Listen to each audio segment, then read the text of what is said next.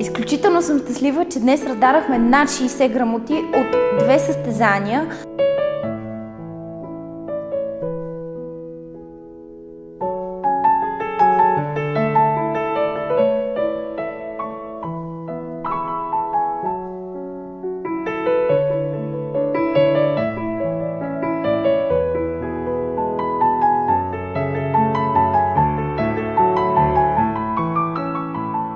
Това се дължи на невероятните усилия, които полагат нашите ученици, страхотния им ентусиазъм и разбира се работата, която полагаме с тях.